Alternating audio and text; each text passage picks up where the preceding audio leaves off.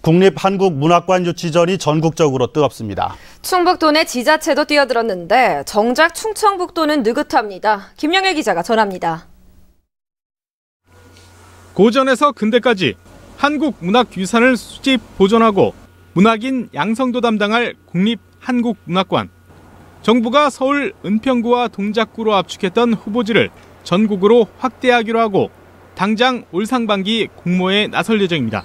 모든 지자체에게 기회를 주고 지자체들도 이제 거기에 대해서 응모를 하고 거기에 결과에 대해서 순응하는 게 민주주의잖아요.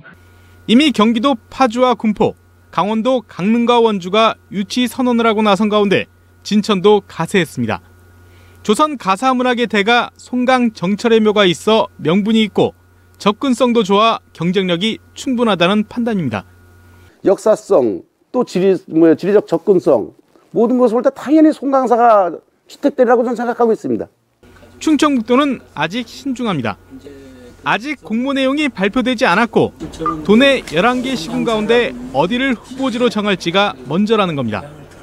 문체부에서 공모가 시작이 되고 거기에 응모를 하고 결과에 맞춰서 이제 선정이 된 거니까 국립한국문학관 유치를 위한 자치단체 간 경쟁이 본격적으로 시작된 가운데 지난해 국립문자박물관 유치에 실패했던 충청북도가 이번에는 성과를 낼 수 있을지 관심이 모아지고 있습니다.